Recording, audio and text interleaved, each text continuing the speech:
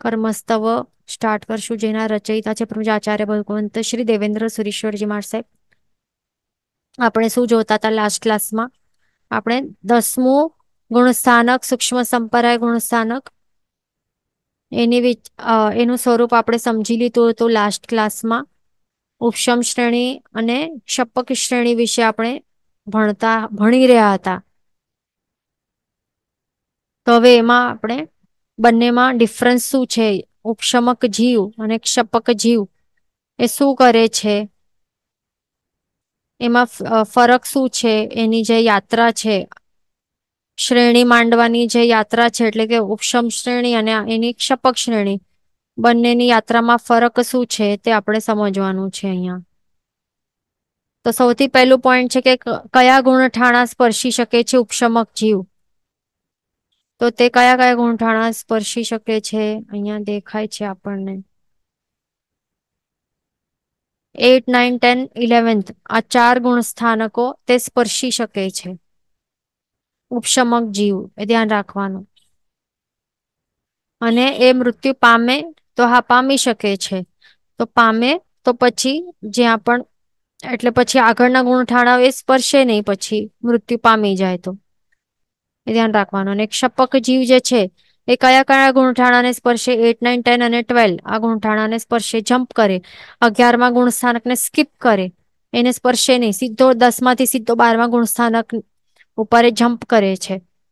પછી બીજો પોઈન્ટ છે, કઈ શ્રેણી કહેવાય છે આ ઉપશમક જીવની? ઉપશમ શ્રેણી કહેવાય. ક્ષપક જીવની ક્ષપક શ્રેણી કહેવાય.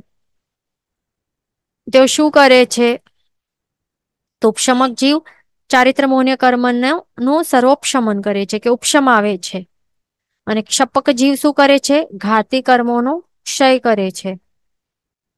જે ઘાતી કર્મો, જે ઘાતી કર્મોમાં કોણ કોણ આવે છે? બધા ઘાતી કર્મોનું ક્ષય કરી નાખે. કયા કયા કર્મો આવે છે? મોહનીય કર્મ આવે છે ને? મોહનીય કર્મ છે જ્ઞાનાવર્ણ્ય કર્મ છે અને દર્શનાવર્ણ્ય કર્મ છે અને અંતરાય કર્મ છે. તો મોહનીય કર્મની જે ટ્વેન્ટી એટ પ્રકૃતિનો સર્વક્ષય કરી નાખે, પાંચ જ્ઞાનાવર્ણ્ય કર્મોનું સંપૂર્ણ ક્ષય કરે નાઇન દર્શનાવર્ણ્ય કર્મોનું સંપૂર્ણ ક્ષય કરે, પાંચ અંતરાય કર્મોનું સંપૂર્ણ ક્ષય કરે, એવી રીતે ટોટલ આ બધા જ ઘાતી કર્મોનું સર્વક્ષય કરી નાખે છે. અહીંયા ધ્યાન રાખવાનું. પણ ક્ષપક જીવ માત્ર જે ચારિત્ર મોહ્ય કર્મનું ઉપશમન કરે છે. ઉપશમ આવે છે, ઉપશાંત કરે છે. એવી રીતે ઉપશમ આવે કે એ ત્યારે, એ વખતમાં ત્યારે એ ઉદયમાં નહીં આવી શકે છે. એ ધ્યાન રાખવાનું. સત્તામાં તે પડેલા હોય છે. પછી નેક્સ્ટ પોઈન્ટ છે બહુચક્રમાં કેટલી વખત કરી શકે?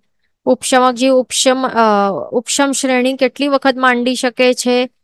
ચાર વખત માંડી શકે છે. ક્ષપક જીવ ક્ષપક શ્રેણી કેટલી વખત માંડે? તો એક જ વખત. કોઈ પણ જીવ એક જ, એટલે ક્ષપક જીવ એટલે કે શું? કોઈ પણ જીવ માત્ર એક વખત જ એના સંપૂર્ણ ભવચક્રમાં એક વખત ક્ષપક શ્રેણી માંડી શકે છે અને કોઈ પણ જીવ ઉપશમ શ્રેણી ચાર વખત જ માંડી શકે છે. કાળ કેટલું? જગન્યથી એક સમય ઉપશમ શ્રેણીનું ઉત્કૃષ્ટથી એક અંતર મુહૂર્ત જેટલું. એક સમય શા માટે? કારણ કે મૃત્યુ થઈ શકે છે. ઉપશમ શ્રેણી માનતા માનતા એક સમય બાદ તરત એનું મૃત્યુ થઈ શકે છે. ક્ષપક જીવનું શું છે?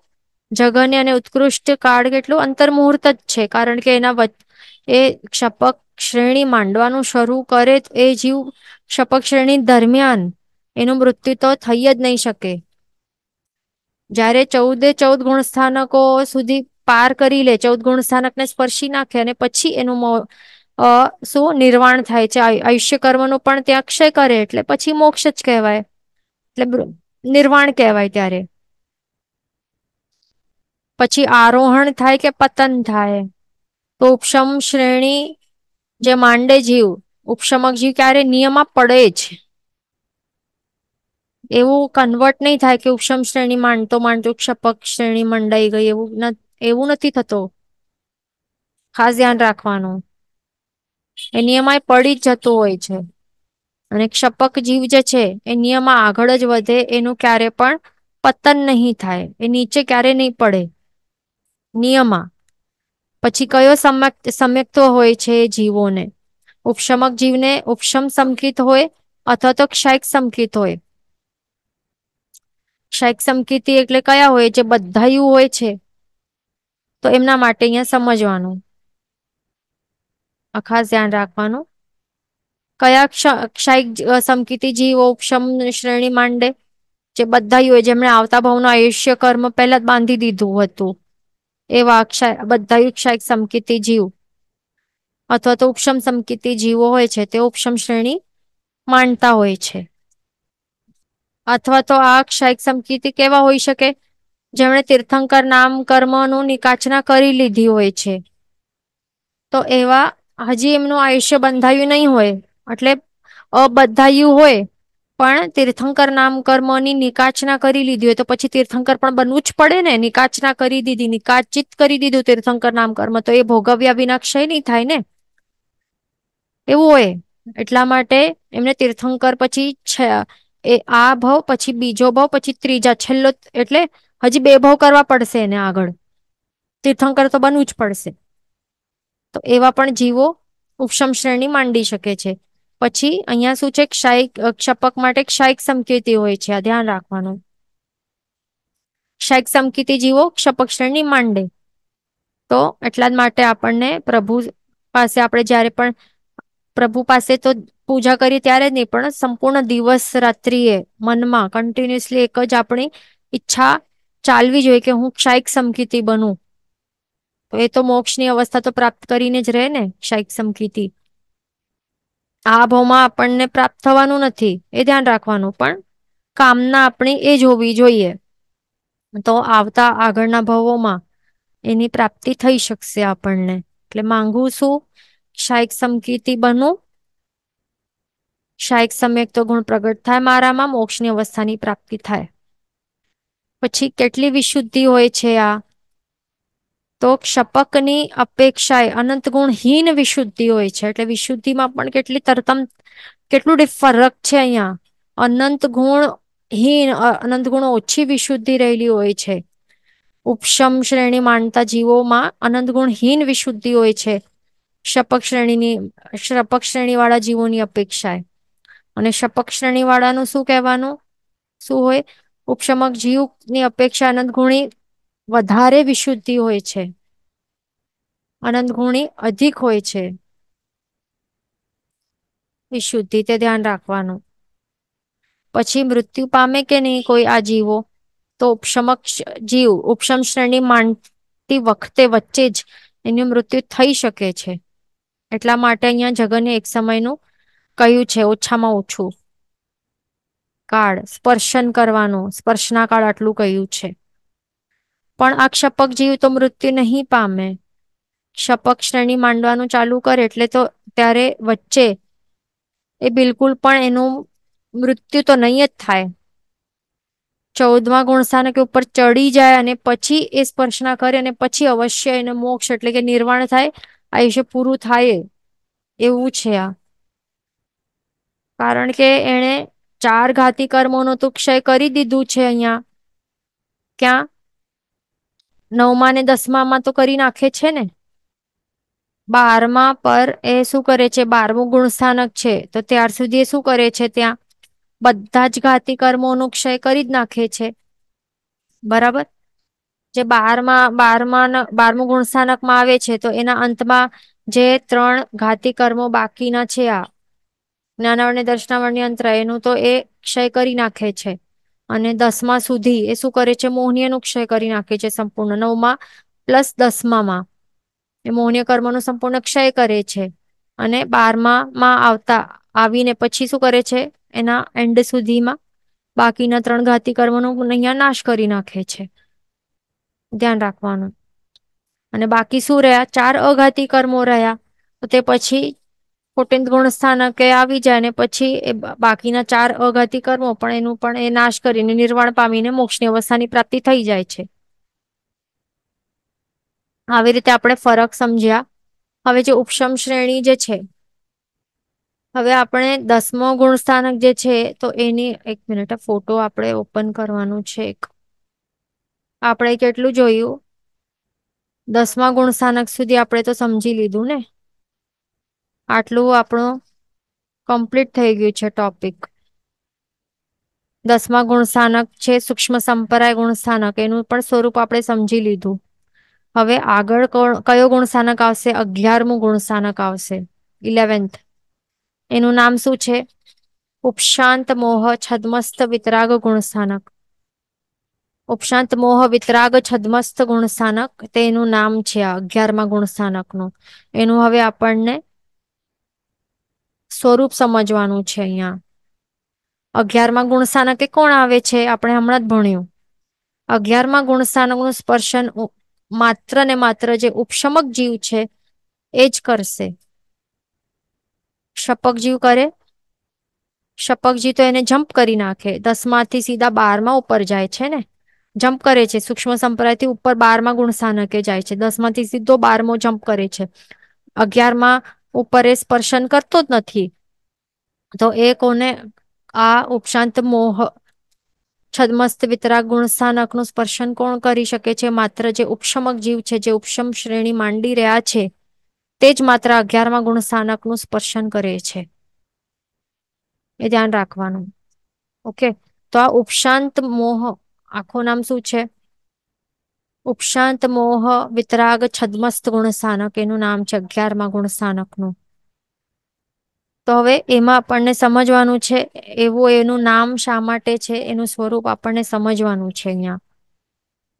તો ઉપશાંત મોહ એ શા માટે કહેલું છે? આ જીવને ઉપશાંત એટલે આ ગુણસ્થાનકને આવી રીતે શા માટે કહેવાય છે? કારણ કે એ જીવ જે છે ને એ જીવ કહેવાય છે તે ઉપશાંત મોહી કહેવાય છે ત્યારે. કે ઉપશાંત એણે જે કશાયો છે, કે જે મોહનીય કર્મ છે, એનું એ શું કર્યું, કરે છે અહીંયા? ઉપશમન કરી નાખ્યું છે ને એણે? એ જીવે શું કર્યું છે? મોહનીય કર્મ છે ને? એ મોહનીય કર્મોનું સંપૂર્ણ ઉપશમના કરી નાખી છે, એટલા માટે અહીંયા આવે એનાથી પહેલા જે કરી દીધી છે ને, દસમામાં જ એ કરી નાખે છે. નવમા અને દસમામાં. હમણાં જ લાસ્ટ ક્લાસમાં આપણે સમજ્યા હતા. નવમા સુધી એ શું કરે છે? સાતમા સુધી તો એ સાત મોન્ય કરવાની સાત પ્રકૃતિઓ, નવમા ગુણ સ્થાનકે આવીને કેટલી પ્રકૃતિઓ? વીસ અને દસમામાં આવીને એક. હવે આ નંબરથી બધાને લાસ્ટ ક્લાસમાં ભણ્યું હતું એટલે કે હવે સમજી જવું જરૂરી છે આ. માત્ર નંબરથી કયા કર્મોની આપણે વાત કરી રહ્યા છીએ. તો સાતમા ગુણસ્થાનક સુધી સાતમા એટલે એ પણ કેવી રીતે? ચોથા થી સાતમા. ચોથા થી સાતમા ગુણસ્થાનક સુધી એણે સાત મૌન્ય કર્મોની સાત પ્રકૃતિઓનું ઉપશમન કરી દીધી છે. નવમા ગુણસ્થાનકે આવીને મૌન્ય કર્મની બાકીની વીસ પ્રકૃતિનું ઉપશમન કરી દીધું છે. અને દસમા ઉપર આવીને મૌન્ય કર્મની છેલ્લી જે એક બાકી હતી, તો એ પ્રકૃતિને પણ હવે ઉપશમન કરી દીધું છે. એટલે કે ટોટલ અહીંયા હવે અગિયારમાં ગુણ સ્થાનકમાં આવશે, તો ત્યારે એનાથી પહેલા જેને શું કરી દીધી ટોટલ? અહીંયા twenty eight total twenty eight મોહન્યકર્મની બધી ટ્વેન્ટી એટ પ્રકૃતિની ઉપશાંત સર્વોપશમન કરી દીધું છે. એટલા માટે હવે અગિયારમા ગુણ સ્થાનકે આવશે. ત્યારે એ શું કહેવાશે? ઉપશાંત મોહ. ઉપશાંત મોહી કહેવાશે આ જીવ. કારણ કે એણે કેવી અવસ્થા એની છે આત્માની કે બધી મોહનીય કર્મની ટ્વેન્ટી એટની ટ્વેન્ટી એટ પ્રકૃતિ બધી ઉપશમન કરી દીધી છે. કોઈ પણ એક પણ પ્રકૃતિ ઉદયમાં નથી મોહનીય કર્મની. તો આવી અવસ્થા કેવી અવસ્થા કહેવાય? વિતરાગી અવસ્થા કહેવાય. વિતરાગી અવસ્થા કહેવાય આવી અવસ્થા. આવી અવસ્થા કહેવાય વિતરાગી અવસ્થા. શા માટે? કારણ કે આ વખતે જીવ કેવું હોય છે? એને રાગ અને દ્વેષ. વિતરાગ એટલે કે શું? રાગ વગર, રાગ દ્વેષ રહિત હોય છે એના ભાવો. એની અવસ્થા એવી હોય છે, વિતરાગી અવસ્થા એને આવી જાય છે.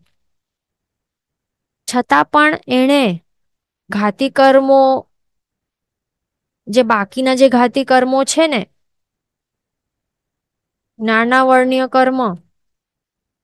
ઘાતી કર્મો કયા કયા છે? ઘાતી કર્મો હોય છે ચાર. ઓકે. તો અહીંયા જે મોહનીય કર્મ છે એનું સર્વોપશમન એક ઘાતી કર્મો ચાર છે. કયા કયા? પહેલે તો લખી લે. નાના વર્ણ્ય છે, દર્શનાવર્ણ્ય કર્મ છે, અંતરાય કર્મ છે અને ચોથું છે મોહનીય કર્મ. તો આ ચાર ઘાતી કર્મો, ચારે ચાર ઘાતી કર્મો એમાંથી જીવે કેટલા કર્મોનો ઉપશમના કરી છે. માત્ર મોહનીય કર્મની ઉપશમના કરી છે. સર્વોપશમના કરી છે. ઉપશાંત કરી દીધું છે. પણ આ બાકી ત્રણ કર્મો છે. એટલે મેન એક મિનિટ. એટલે જે મોહનીય કર્મો છે, એનું સર્વોપશમન કરી નાખ્યું છે. દેટ મીન્સ આ ઉદયમાં નથી બિલકુલ પણ. મોહનીય કર્મોનું સર્વથા ઉપશાંત કરી દીધું છે અહીંયા.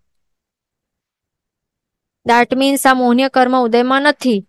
પણ જ્ઞાનાવર્ણ્ય દર્શનાવર્ણ્ય અને અંતરાય આ ત્રણે ત્રણ કર્મો એને ઉપશમના કે કઈ કર્યું નથી એણે. એનું ઉદય રહેલું છે આ. આ ઉદય જ્ઞાનાવર્ણ્ય કર્મ ઉદયમાં છે દર્શનાવર્ણ્ય ઉદયમાં છે અને અંતરાય પણ ઉદયમાં છે હમણાં એનું. ત્રણ ઘાતી કર્મ ઉદયમાં છે. એના કારણે આ જીવને છદ્મસ્થ કહેવાય છે. તો આવા જીવો જે છે ને, કેવા ટાઈપના જીવો? કે જેમણે મોહનીય કર્મોનું જેમણે મોહનીય કર્મોનું સર્વથા, સોરી સર્વોપશમન કરી નાખ્યું છે, સર્વોપશમન કે ઉપશમના કરી દીધી છે. મોહનીય કર્મની ટોટલી એના કારણે એમને રાગ, દ્વેષ હમણાં એમને નથી, એમના એવા દેવસાય નથી ચાલી રહ્યા, એવા વિતરાગી અવસ્થા પ્રાપ્ત થઈ ગઈ છે. છતાં પણ એમના જ્ઞાનાવર્ણ્ય, દર્શનાવર્ણ્ય અને અંતરાય આ ત્રણ ઘાતી કર્મો હજી પણ ઉદયમાં છે, એટલા માટે એવા છદમસ્ત જીવો જે પણ હોય છે, એમને શું કહેવાય છે, તેઓ અગિયારમાં ઉપશાંત મોહ વિતરાગ છદમસ્ત ગુણ સ્થાનક ઉપર રહેલા છે, એટલા માટે એવી રીતે એવું નામ છે, આ ધ્યાન રાખવાનું. હવે છદમસ્ત જે છે, એ કોને કહેવાય છે? છદમસ્ત જીવો, એમને કહેવાય કે જેમને કેવલ જ્ઞાન હજી પણ પ્રગટ નથી થયું. છદમસ્ત કોને કહેવાય? જેમને કેવલ જ્ઞાન પ્રગટ નથી થયું. કેવલ જ્ઞાન જેમને પ્રગટ નથી થઈ એવા જીવોને છદમસ્ત કહેવાય. રાઈટ તો અહીંયા એમને કેવલ જ્ઞાન પ્રગટેલું છે, ભલે અહીંયા વિતરાગી છે અહીંયા, ધ્યાન રાખવું, અહીંયા અહીંયા ભલે કહેવાય છે કે તેઓ વિતરાગી દશા છે એમની. કારણ કે માત્ર મૌન્ય કર્મ ના કારણે રાગ, દ્વેષ હમણાં નથી એમને. તો એનું શું મિનિંગ એ થઈ જાય છે કે કેવલ જ્ઞાની થઈ ગયા તે. નથી કહેવાતું. કેવલ જ્ઞાન ક્યારે કહેવાય? ક્યારે પ્રગટ થયું એ કહેવાય? જ્યારે આ ચારે ચાર ઘાતી કર્મોનો સંપૂર્ણ નાશ થાય, ક્ષય થાય, ક્ષય કરે જીવ. ચારે ચાર ઘાતી કર્મોનો સંપૂર્ણ ક્ષય કરે ને, તો ત્યારે આત્મામાં કેવલ જ્ઞાન ગુણ પ્રગટ થાય છે અને ત્યારે એ કેવલ જ્ઞાની કહેવાય. પણ હજી મોહનીય કર્મ તો એણે માત્ર ઉપશાંત કર્યું છે, ઉદયમાં નથી, સત્તામાં છે. જ્ઞાનાવર્ણ્ય દર્શનાવર્ણ્ય અંતરાય, એ ઉદયમાં છે અહીંયા. સત્તામાં છે અને ઉદયમાં પણ છે. તો કેવી રીતે એમને કેવલ જ્ઞાની કહેવાય? નહીં હોય ને? કેવલ જ્ઞાન પ્રગટેલું આ ગુણ કેવલ જ્ઞાન એમને પ્રગટ જ નથી થયું. એટલા માટે આવા જીવોને છદમસ્ત કહેવાય છે, ધ્યાન રાખવાનું. ઓકે? વિતરાગી અને છદમસ્ત અવસ્થા છે. એના ઉપરથી આપણે શું સમજ્યા? એક પોઈન્ટ કે ક્યારે પણ આપણે કહીએ ને કે વિતરાગી જીવ, તો વિતરાગી આ માત્ર આપણે કહીએ, તો દેટ ડઝન્ટ મીન કે એ કેવલ જ્ઞાની જ હોય. શું કે બધા વિતરાગી કેવલ જ્ઞાની નહીં હોય, એવા પણ વિતરાગી હોય જે છદમસ્ત હોય. જે અગિયારમાં કે ઉપશાંત મોહ, વિતરાગ, છદમસ્ત ગુણ સ્થાનકે રહેલા એવા પણ વિતરાગી હોય છે, હોઈ શકે છે. ધ્યાન રાખવાનું. તો આટલું આપણે સમજ્યા પોઈન્ટ હવે અહીંયા ક્વેશ્ચન છે કે સંજોલન લોભ કશાય જે બાકી હતી તે ને. તો અહીંયા, હા, તો અહીંયા આપણે શું, એનું શું ક્વેશ્ચન છે? તો અહીંયા આ વાન જે લખેલું છે એના વિશે ક્વેશ્ચન છે અહીંયા. તો તે જ રાઈટ છે કે દસમા ગુણ સ્થાનકે જે એક બાકી રહેલું જે સંજ્વલન, જે સૂક્ષ્મ રૂપ સંજ્વલન લોભ કશાય ચારિત્ર મોહન્ય કર્મ જે બાકી હતું, જે ઉદયમાં હતું તો એનું અહીંયા ઉપશમન કરે છે જીવ દસમા ગુણ કે તે વાન છે અહીંયા. બાકી અહીંયા વીસ જે આપણે લાસ્ટ ક્લાસમાં જોઈ, તે હમણાં પણ હવે પાછો અહીંયા આપણને લેવાનું છે અહીંયા, તો તે અહીંયા હજી આગળ ક્લિયર થઈ જશે. તો આવી રીતે આપણે શું જોયું? એનું મિનિંગ સમજ્યા કેવું આત્માની કે કેવી અવસ્થા હોય છે. હવે આપણે સમજીએ કે એનું કાળ કેટલું છે? અગિયારમાં ગુણસ્થાનકનું કાળ કેટલું છે? તે આપણે સમજી લઈએ. અહીંયા ધ્યાન રાખવાનું કે આ અગિયારમાં ગુણસ્થાનકે અગિયારમાં ગુણસ્થાનક ઉપર સ્પર્શન, સ્પર્શના કોણ કરી શકે? માત્ર ઉપશમક જીવ કરી શકે. જે જે માત્ર ઉપશમ શ્રેણી માનતા હોય, એવા જ જીવો એ તે જ આવી શકે છે અને તે નિયમમાં પડે પડે ને પડે જ નીચે. કોઈ પણ ક્ષપક જીવ અહીંયા આવશે નહીં. એ એક પોઈન્ટ એકદમ યાદ રાખવાનું છે. તો હવે એનું જગન્ય અગિયારમાં ગુણસાનકનું જગન્ય કેટલું હોય છે કાર્ડ એક સમય. અને જો એનું ના મૃત્યુ થાય તો પછી ત્યાંથી પડી જાય. પછી એટલે એક સમય સુધી જેને સ્પર્શ્યું અગિયારમાં ગુણસાક અને મૃત્યુ થઈ ગયું તો પછી પડી જાય. અને અહીંયા ભોક્ષય પતનનું મિનિંગ શું છે કે આયુષ્ય પૂર્ણ થયું એના કારણે એ પડી જશે પછી. એનું એ મિનિંગ છે. એટલે પડવાનું કારણ અહીંયા બતાડ્યું છે કે ભવક્ષય થયું, એટલે કે આયુષ્ય પૂર્ણ જો થઈ જાય, એવી સિચ્યુએશન હોય, તો એવી સિચ્યુએશન હોય તો જગન્યમાં એક સમય સુધી જે સ્પર્શના કરી શકશે અગિયારમાં ગુણ સ્થાનક ઉપર અને પછી તે પડી જશે. આવતા ભાવમાં એ જે પછી દેવભાવ એને મળશે, ચોથા ગુણ સ્થાનકે રહેલું એવું દેવભાવ મળશે એને. કારણ કે તે ઓલરેડી સમ્યક સમકીતી જીવ હતું ને, ઉપશમ અથવા તો ક્ષાયક સમકીતી જીવ જ હતું ને તે? પછી ઉત્કૃષ્ટથી શું છે? અંતરમુહૂર્ત ઉત્કૃષ્ટ અંતરમુહૂર્ત કાળ સુધી એ રહી શકે છે. અને અહીંયા કાળ ક્ષય પતન એટલે કે શું છે? અગિયારમાં ગુણસ્થાનકનું કાર્ડ કેટલું છે? એક અંતરમુહૂર્તનું મેક્ઝિમમ કયું છે? તો ત્યાર સુધી એ આખી વખત સુધી એ રહી શકે. એટલે કાળ સુધી, જેટલું અગિયારમાં ગુણસ્થાનક જેટલું એક અંતર્મૂર્ત જેટલું કાળ છે, એટલે ત્યાર સુધી રહ્યું. અને અંતર્મૂર્તનું જે એ કાળ હતું, એ પૂર્ણ થઈ જાય, એના બાદ તો પછી એને પડવું જ છે, પડવાનું જ છે.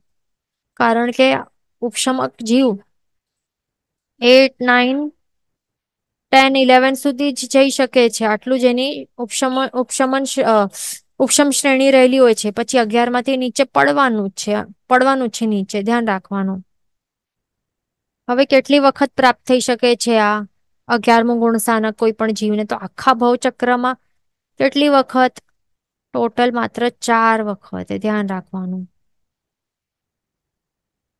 કેવી રીતે? જો ચાર વાર ઉપશમ, આ ઉપશમક જીવ જ આવી શકે ને અહીંયા? તો ઉપશમક જીવ આવે ચાર વખત, સંપૂર્ણ ભવચક્રમાં મેક્ઝિમમ ચાર વખત ઉપશમ શ્રેણી કોઈ પણ જીવ માંડી શકે. તો ચાર વખત ઉપશમ શ્રેણી માંડી એટલે કે ચડી. જો ચાર વખત ઉપશમ શ્રેણી ચડશે, તો ચાર વખતે ઉતરશે પણ ને? પણ અહીંયા મેક્ઝિમમ આપણે જોઈએ, આપણે અત્યાર સુધી આપણે જે બીજા આપણે દસમાં કે નવમા ગુણસ્થાનકમાં શું જોયું હતું? આપણે અહીંયા પ્રોપરલી સમજાવી, જો અહીંયા એટ નાઇન ટેન અને ઇલેવન બરાબર? તો હવે એ જે ચડશે અહીંયા, સમજો જીવ અહીંયાથી ચડે છે અને પછી નિયમમાં પડશે. ઓકે? તો જે અહીંયા ચડે છે, જે હવે માત્ર આઠમા આઠમા ગુણસ્થાનકની વાત કરીશું આપણે. ઓકે? કે આઠમા ગુણસ્થાનક કેટલી વખત સ્પર્શી શકશે? જોપશમ શ્રેણી માંડે. તો ચડશે. તો અહીંયા એક વખત સ્પર્શ્યું, પછી અહીંયા સ્પર્શન કરશે. પછી અહીંયા સ્પર્શન કરશે. પછી અહીંયા સ્પર્શન કરશે. અને પછી અહીંયા સ્પર્શના કરીને અહીંયા પડશે. એટલે અહીંયા બીજી વખત સ્પર્શના કરી, પછી અહીંયા બીજી વખત સ્પર્શના કરી અને અહીંયા બીજી વખત સ્પર્શના કરી. એવી રીતે આપણે જોઈએ ને કે એવી રીતે જે ચડે છે આઠમાં, જે ચડશે, તો એ આઠમા ગુણસ્થાનક ને બે વખત સ્પર્શના કરશે. નવમા ગુણસ્થાનક માટે પણ સેમ જે અહીંયા આવી રીતે પાથ ઉપર એવી રીતે ચાલે છે, જે ચડે છે તે ઉતરે છે. અહીંયા અહીંયા સ્પર્શીને આવી રીતે ઉતરશે એટલે અહીંયા બીજી વખત સ્પર્શશે. એટલે કે બે વખત આવી રીતે સ્પર્શ્યું. દસમા માટે પણ સેમ અહીંયા ચડ્યું અને અહીંયા સુધી અગિયારમાં આવીને પછી ઉતર્યું. તો અહીંયા ફરી પાછો અહીંયા દસમા ઉપર આવશે ને એટલે બે વખત સ્પર્શીને પડશે નીચે. પણ અગિયારમાં માટે કેવું છે? જે ચડે છે આમ, તો સ્પર્શના કેટલી વખત થઈ? એક વખત થઈ ને. અને અહીંયાથી સ્પર્શના કરીને પાછો અહીંયા સીધો અહીંયા દસમા ઉપર ઉતરશે. એટલા માટે અહીંયા ચાર વખત છે. સમજ્યા ને? અહીંયા બે, નહીં તો આપણે શું બે બે આપણે ગણ્યું હતું ને પહેલાના ટેબલ્સમાં, જો આપણે અહીંયા જોઈ લઈએ. અહીંયા આપણે શું જોયું? આ આઠમાનું કાર્ડ કે જે ઉપશમ શ્રેણી શ્રેણી ચાર વખત જો માંડે, તો કેટલી? ચાર ટોટલ આઠ વખત આપણને ગણવાની. ચાર વખત ચડે એટલે કે ચાર વખત જ્યારે ઉતરતા ચાર વખત પાછો સ્પર્શ ના કરે, એટલે ફોર પ્લસ ફોર એટ થાય છે. બરાબર? બે વખત જો સ્પર્શે છે ચડતી વખતે, તો બે વખત ઉતરશે ત્યારે પણ સ્પર્શના કરશે. એટલે કે ટોટલ ચાર વખત ગણાયું ને? તો આઠમામાં આવી રીતે જોયું. પછી નવમામાં પણ એવી જ રીતે સેમ જોયું. પછી દસમામાં પણ આપણે શું જોયું? અહીંયા સેમ આવી જ રીતે જોયું. પણ હવે અગિયારમાં માટે આપણે શું સમજ્યા અહીંયા? સમજાયું ને બરાબર?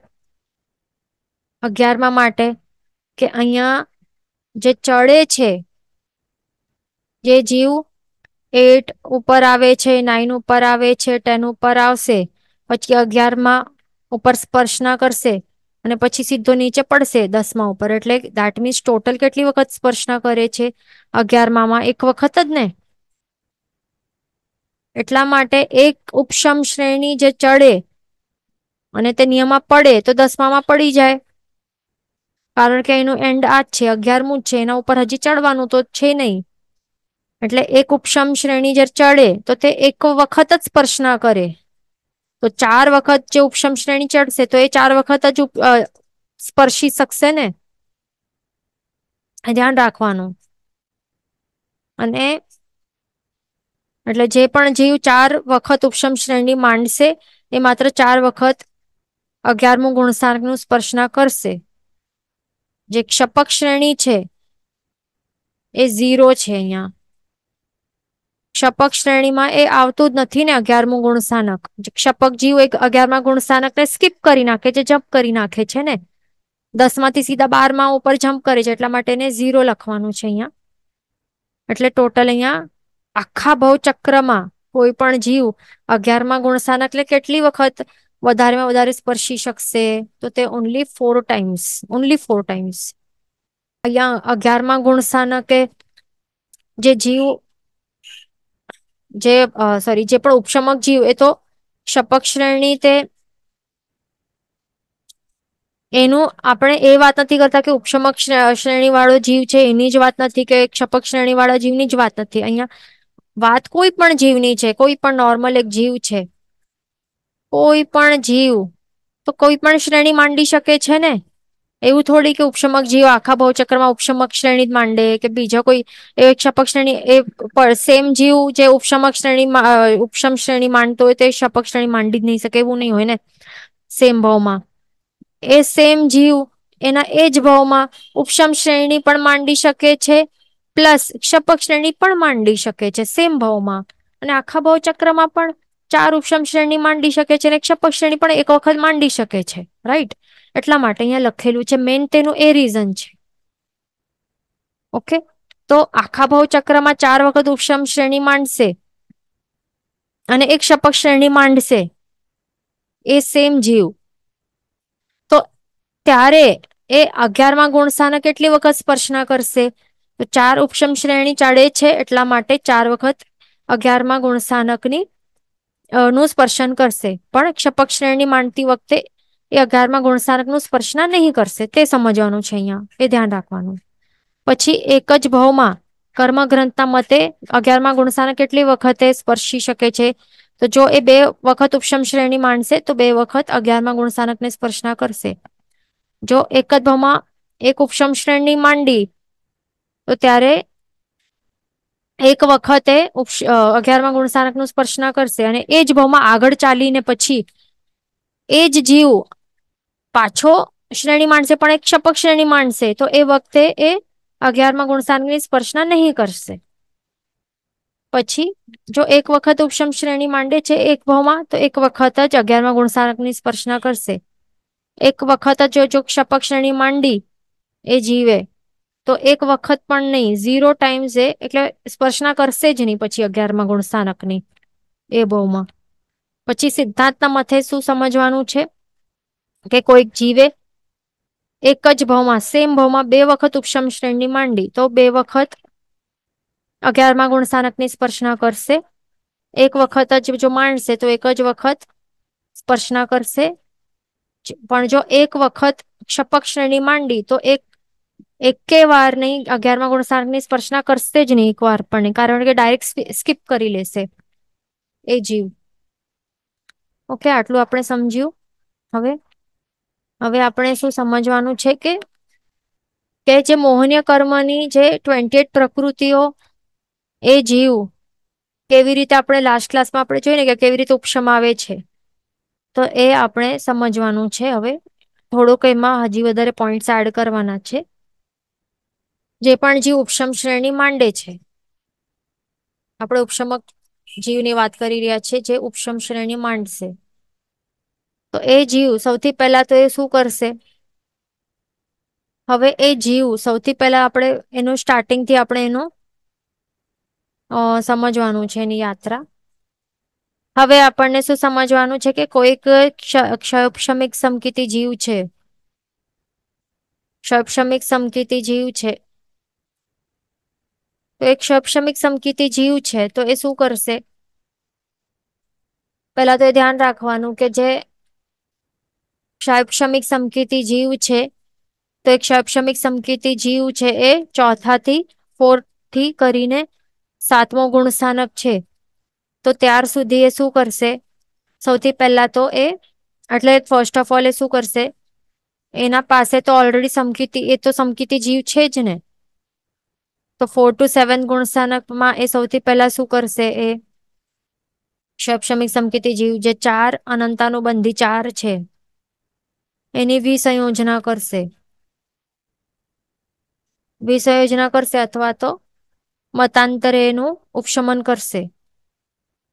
વિસંયોજન એટલે કે શું? એવી રીતે ક્ષય કરશું, કરવાનું કે જેનાથી સત્તામાં એ પાછા આવી શકે છે, કર્મો. એને વિસંયોજના કહેવાય છે. યાદ રાખવાનું છે બધાને આવા ટર્મ્સ વારંવાર આવશે ક્યારે પણ. તો હવે એના બાદ એ શું કરશે એ જીવ? એના બાદ હવે જે છઠ્ઠો, સાતમો ગુણસ્થાનક છે, તો ત્યારે એ છઠ્ઠા, સાતમા ગુણસ્થાનકે આવીને એ જે દર્શનત્રિક છે, એટલે જે આપણે દર્શન સપ્તક છે, એમાંથી ચાર તો અહીંયા વિસંયોજના કે ઉપશમના કરી દીધી પહેલા જ. હવે બાકીના ત્રણ દર્શના દર્શન મોહનીયના ત્રણ છે આ. દર્શનત્રિક એટલે સંકેત મોહનીય, મિશ્ર મોહનીય અને મિથ્યાત્વ મોહનીય. એ દર્શન મોહનીય અહીંયા લખી લઈને તો કન્ફ્યુઝન નહીં થાય. તો એનું એ શું કરશે? એ સંપૂર્ણ ઉપશમન કરી નાખશે અહીંયા. તો એવી રીતે આ કરશે, તો એના કારણે એને શું મળશે? ઉપશમ સંકિત પ્રગટ થશે. પણ એ કયો? શ્રેણીગત. શ્રેણીગત ઉપશમ સંકિત પ્રગટ થશે એને. ધ્યાન રાખવાનું. એટલે પહેલા તો એ ઓલરેડી ક્ષક્ષમિક સમકિતિ હતો જે જીવ. અહીંયા મેં શું સમજવાનું કે છે કે ક્ષક્ષમિક સમકિતિ જીવ તો ઓલરેડી ક્ષાયિક સમકિતિ, અરે ક્ષક્ષમિક સમકિતિ તો હતો જ. ત્યારે એની આત્માની અધ્યવસાય કેવી ચાલી રહેલી હોય છે આવા જીવની? જે અનંતાનુબંધી ચાર હતા, તો એનું તો શું એ કરે છે? ઉદય તો નહીં, ઉદય નથી ને એનું? પણ જે જે ત્રણ દર્શન મોહનીય કર્મો છે, એમાંથી જે એક જે સંકિત મોહનીય કર્મ છે, એ ઉદયમાં એનું છે ને, ઉદયમાં ચાલી રહેલું છે. તો એવા ટાઈપનું અવસ્થા રહેલી હોય છે ક્ષક્ષમિક સમકિતિ જીવની. તો હવે એ શું કરશે? જે અનંતાનુબંધી ચોથા થી સાતમા ગુણસ્થાનકમાં વિસંયોજના તો ઉપશમન કરી નાખશે મંતાંતરે. અને છઠ્ઠા ને સાતમા ગુણસ્થાનકે આવીને એ જે ત્રણ દર્શન મોહનીય કર્મ છે, એ એટલે દર્શનત્રિકને ઉપશમન કરશે. એટલે કે જે સંકિત મોહનીય જેનું ઉદયમાં હતું, તો એ પણ અહીંયા ઉપશમન થઈ જશે ને અહીંયા? સંપૂર્ણ ઉપશમન થઈ જશે. એવી રીતે જે દર્શન સપ્તક છે, એનું સર્વોપશમન અહીંયા કરી નાખશે. એના કારણે એને કયો ગુણ કહેવાશે? શ્રેણીગત ઉપશમ સંકિત ગુણ એનું પ્રગટ થશે. એ ધ્યાન રાખવાનું. ઓકે, આટલા સુધી આપણે સમજાયું. હવે આગળ હવે શું કરશે? હવે એ જીવ, આ જીવ જે છે, તો એનું, આ જીવનું જે મોહનીય કર્મ છે, તો એ મોહનીય કર્મની કેટલી સત્તા હોય છે એની? મોહનીય કર્મની સત્તા એની ટ્વેન્ટી એટની હોઈ શકે અથવા તો ટ્વેન્ટી ફોરની પણ હોઈ શકે છે. અથવા તો એની ટ્વેન્ટી વનની પણ સત્તા હોઈ શકે છે. તો એ કેવી રીતે તે આપણને સમજવાનું છે? તો ટ્વેન્ટી એટની મોહનીય કર્મની સત્તા ક્યારે હોઈ શકે છે? કે જ્યારે એણે જે અહીંયા શું બતાવ્યું છે? ઉપશમન. જે અનંતાનું બંધી ચાર કર્મોનું ઉપશમના કરી દીધી હોય. સત્તાનું પહેલા તો મિનિંગ શું? પહેલા એ સમજી લે. મોહનીય કર્મની સત્તા એટલે કે શું? કે આત્મા ઉપર મોહનીય કર્મની કેટલી પ્રકૃતિઓ હજી પડેલી છે? સત્તામાં. તો ટ્વેન્ટી એટ હજી એની સત્તામાં પડેલી છે, અથવા તો ટ્વેન્ટી ફોર હોઈ શકે છે, અથવા તો ટ્વેન્ટી વન પણ હોઈ શકે છે સત્તામાં. એ કેવી રીતે તે આપણે સમજીએ? કે ટ્વેન્ટી એટ ક્યારે હોય સત્તામાં? કે જ્યારે આ જીવે, જે અનંતાનુબંધી ચાર છે, એની ઉપશમના એની ઉપશમના કરી દીધી હોય. ચારની ઉપશમના કરી દીધી છે, પ્લસ આગળ છઠ્ઠા, સાતમા ગુણસાના કહે તો એ ઉપશમન કરશે, ત્રણ દર્શન દર્શન મુનિય કર્મોનું. તો અહીંયા દર્શન સપ્તકની સાત, જે દર્શન સપ્તક છે એટલે સાત કર્મોની ઉપશમના અહીંયા કરી જ નાખે છે ને અહીંયા.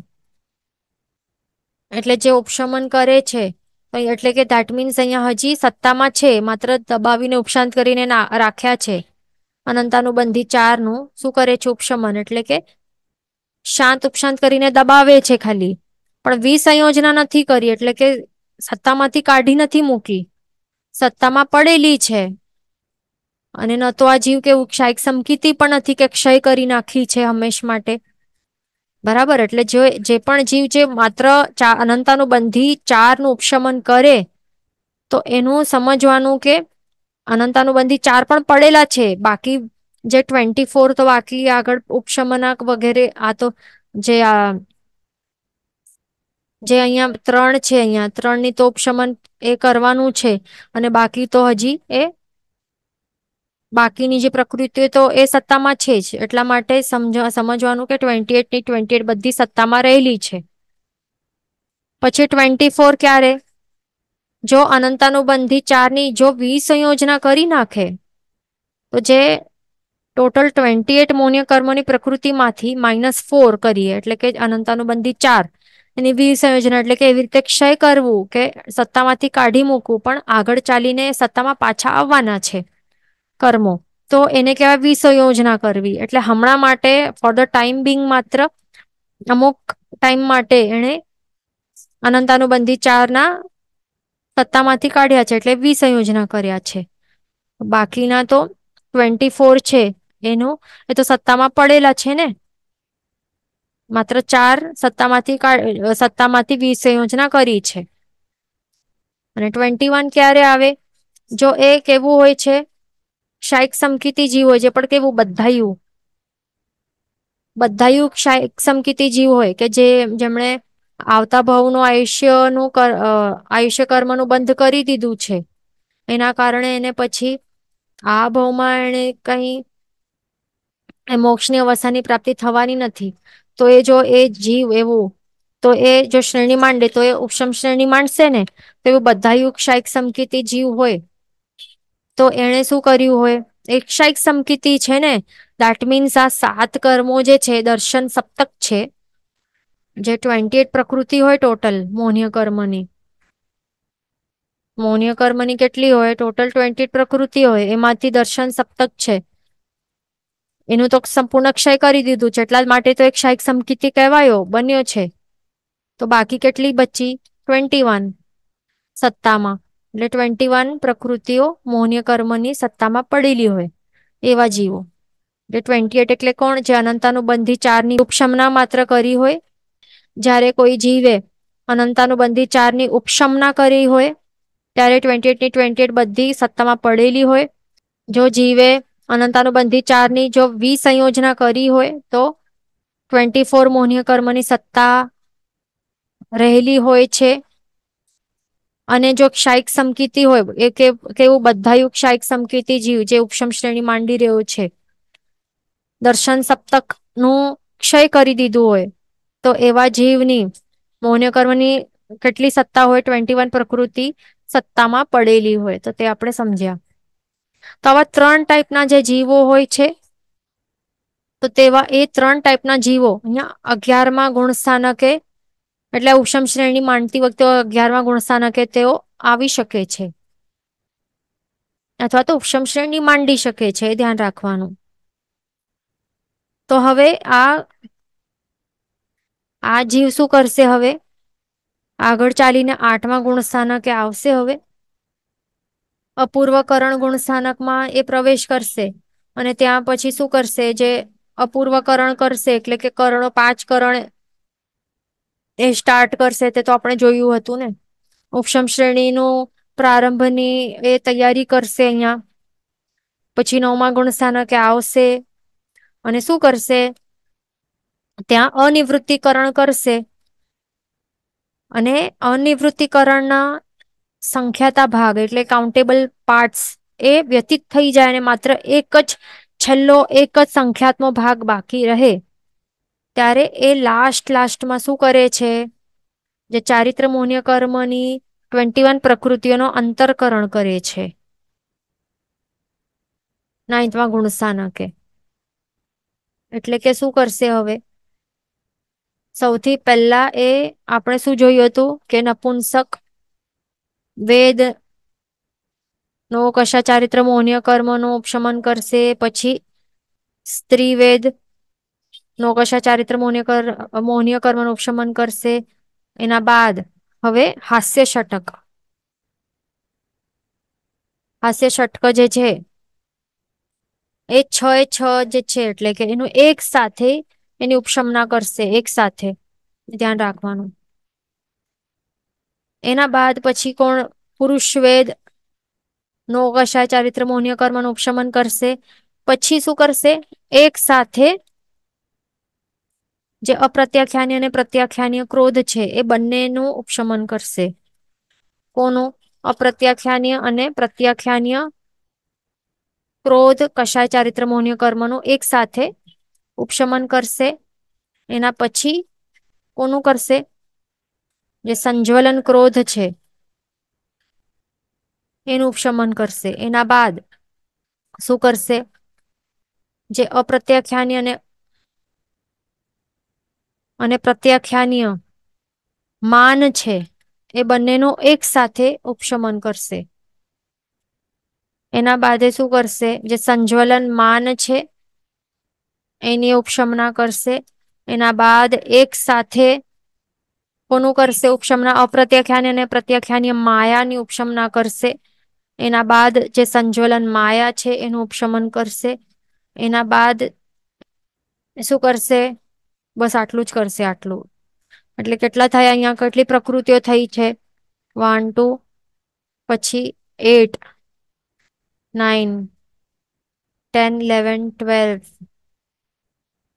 thirteen fourteen fifteen sixteen seventeen eighteen અને લોભ. જે લોભ છે એના પણ બે આવશે. અપ્રત્યાખ્યાની અને પ્રત્યાખ્યાનીય. તો થઈ ગયા ટ્વેન્ટી બરાબર? તો આવી રીતે શું થાય છે? આટલા કર્મોનું એ ઉપશમના આવી રીતે કરે છે. પછી આવશે દસમા ગુણ સ્થાનકે દસમા ગુણ સ્થાનકે એક જ શું બાકી રહે છે? જે સંજ્વલન લોભ છે, એ પણ સૂક્ષ્મ કિટ્ટી રૂપ. તો એનું ઉદય ચાલી રહેલું હોય છે, તો એનું પણ એ ઉપશમના ત્યાં કરી નાખે છે. બરાબર? અને પછી આગળ હવે શું, હવે હવે શું કરશે? જ્યારે આ લોભનું જયારે ઉદય રહેલું હોય છે ને, જે લોભ છે આ, છેલ્લું આ કોણ બાકી રહે છે? બધા જે છે મૌન્ય કર્મના બધા બાકીની બધી પ્રકૃતિઓનું એ ઉપશમના કરી નાખે છે. માત્ર જ્યારે લોભ બાકી રહેલું છે ને, તો એ લોભનું શું કરે છે જીવ? તે આપણે સમજી લઈએ. જે લોભ કશાય ચારિત્ર મોન્ય કર્મ છે એનું એ ત્રણ ભાગમાં એ ડિવાઈડ કરે છે એને. એટલે અહીંયાથી આપણને સમજવાનું છે, અપ્રત્યાખ્યાન અને પ્રત્યાખ્યાન્ય છે ને, એ અને સંજોલન. એનું એ શું કરે છે, કેવી રીતે આ સૂક્ષ્મ કીર્તિરૂપ બને છે, એટલે શું છે, તે આપણને સમજવાનું છે, ક્યાંથી, અહીંયાથી. તો લોભ, કશાય, ચારિત્ર, મૌન્ય, કર્મ છે, એનું એ ઉદય ચાલી રહેલું છે, ઓકે? એનું હમણાં ઉદય ચાલી રહેલું છે. નાઇન્થ ગુણ સ્થાનકે જયારે અહીંયા રહેલું છે, અહીંયા આપણે પાછી, પછી જોશું દસમાનું. પહેલાં અહીંયા આપણે સમજા, સમજવાનું છે કે લોભનું એ કેવી રીતે કરે છે અહીંયા, એ આપણે હમણાં સમજીએ. લોભનું હમણાં ઉદય ચાલી રહેલું છે, તો એનું એક શું કરશે? જ્યાર સુધી એ લોભનું ઉદય જેટલા કાળ સુધી રહેવાનું છે ને, તો એટલા કાર્ડને એ ત્રણ, એ કાર્ડને ત્રણ વિભાગો કરે છે. ત્રણ પાર્ટ્સમાં એ ડિવાઈડ કરે છે. કોને ડિવાઈડ કરે છે? કે લોભ જેટલા કાળ સુધી ઉદયમાં રહેવાનું છે એ કાળને ઉદય કાળને ત્રણ પાર્ટ્સમાં એ ડિવાઈડ કરે છે. એ ત્રણ ભાગ કયા કયા છે? પેલું ભાગ છે અશ્વકર્ણ. અશ્વ કર્ણ કર્ણધા શું છે આ? અશ્વ એટલે શું? હોર્સ હોય ને હોર્સ ઘોડો. કર્ણ એટલે કે શું? કર્ણ એટલે કે કાન. બરાબર? કરણ અને અધા અશ્વ, કર્ણ, કરણ અધા અહિયાં આવી રીતે એવી રીતે લખી શકીએ, કરણ. હા. અશ્વ, કર્ણ, કરણ, અદ્ધા. તો કરણ એટલે કે શું ક્રિયા અને અધા એટલે કે શું કાળ? અશ્વ એટલે કે શું પાછો કહીએ? ઘોડો, કર્ણ એટલે કે કાન, કરણ એટલે કે ક્રિયા અધ્ધા એટલે કે કાળ. ઓકે, આ એ પેલું છે. બીજો ભાગ કયો છે? કિટ્ટી, કરણ અધ્ધા અને ત્રીજું કયો ભાગ છે? કિટ્ટી વેદનાધ્ધા વેદન અદ્ધા ઓકે તો આપણે આ સમજી લઈએ શું છે આ અશ્વકરણ કરણ અધા કિટ્ટી કરણ અધા કિટ્ટી વેદન અદ્ધા ઓકે તો સૌથી પહેલું જે આ છે આ એ શું છે આ અશ્વકરણ કરણ અધા એટલે કે શું તો જે અહીંયા જે કાળમાં આ શું છે અશ્વકરણ કરણ અદ્ધા એટલે કે શું છે આ કે આ જીવ શું ક્રિયા કરે છે? કેવી ક્રિયા કરે છે અહિયાં? કે જે કાળમાં જે સત્તા છે ને, આત્મા ઉપર રહેલા જે કર્મો છે ને, એ પણ કેવા? એક આ લોભ લોભ કર્મના વાત છે અહિયાં. જે લોભ કશા ચારિત્ર મુન્ય કર્મ છે, એના જે દલિકો જે પડેલા હતા પહેલાથી સત્તામાં. તો એ ઘોડાના કાન કેવું હોય છે, એનું શેપ કેવું હોય છે તે આપણને સમજવું પડશે હવે. જે ઘોડો છે ને ઘોડાના કાન કેવા હોય? આવા હોય ને કંઈક? જોયા હશે. આવા છે ને, આવા હોય છે ને કાન. એટલે શેપ કેવું હોય છે? કે આ અહીંયા અહીંયા એનો જે પણ ફેસ છે, આવું જે પણ છે, એવું છે અહિયાં. અહીંયા ડોગ જેવું લાગે છે, પણ આ હોર્સ સમજવાનું અહીંયા. હોર્સ છે આ. જે પણ તેના કાન કેવા હોય છે હોર્સના કે અહીંયા જે ભાગ ઉપર સ્પર્શેલો છે ને બોડી સાથે, તો એનું સાઈઝ કેટલી છે? જાડી સાઈઝ છે, મોટી સાઈઝ છે વિથ વધારે છે. અને એમ ઉપર ઉપર જતા જતા અનુક્રમે એ શું થાય છે? હીન થતું જાય છે એનું સાઈઝ એનું વિથ એ નાની નાની નાની થતીને થઈ, થઈને એકદમ પોઈન્ટ સુધી આવી જાય છે ને પાટલી થઈ જાય છે ને એટલે ઘોડાનું કાન એ મૂળથી એ એક એવું હોય છે વાઈડ હોય છે, વિસ્તારવાળું હોય છે અને પછી ઉપર ચડતા ચડતા અનુક્રમે એ વિસ્તાર એનું ઓછું ઓછું ઓછું ઓછું થતું જાય છે. બસ તેવી જ રીતે શું છે કે સ્ટાર્ટિંગમાં ઘણા રસવાળા આ શું હોય છે, આ કર્મના દલિકો હોય છે. અને અનુક્રમે ઉપર પછી આગળ ચાલતા ચાલતા ઓછા ઓછા ઓછા રસવાળા એ આ કર્મને, કર્મના જે રસ છે ને, તો એ રસને ઓછો ઓછો કરતો જાય છે. ઓછો ઓછો બનાવતો જાય છે. તે છે આ. અશ્વકરણ કરણાધા એટલે કે શું? અશ્વ કર્ણ એટલે કે ઘોડાના કાનની જેમ ક્રિયા થતું હોય છે એવું કાળ બધા એટલે કે કાળ. એટલે કે શું કરે છે? સ્ટાર્ટિંગમાં આ જેમ આટલું વધારે વિથ છે અને ઉપર ચડતા જતા ઓછો થઈ જાય છે ને, બસ એવી રીતે અશ્વકર્ણ, કરણ અદ્ધા, એમાં શું કરે છે? આ કેવી ક્રિયા કરે છે કે આ કાર્ડમાં જે લોભનું જે ઉદયનું જેટલું ટોટલ કાર્ડ છે આ, સમજો કે આટલું કાર્ડ છે, લોભ, એવી રીતે નહીં, એક મિનિટ.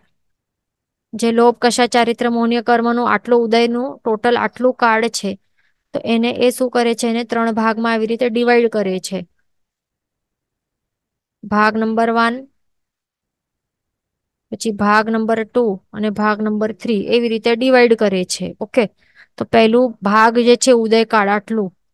તો પહેલા ભાગમાં અશ્વકરણ કરણધા એ આટલો એનું કાર્ડ છે. આટલા સમય સુધી એ શું કરે છે? જે સત્તામાં રહેલા જે વધારે વધારે રસવાળા જે હોય છે ને, લોભના દલિકો, એને શું કહેવાય છે? એને કહેવાય છે પૂર્વ સ્પર્ધક કહેવાય છે. શું? પૂર્વ સ્પર્ધક એ કહેવાય છે.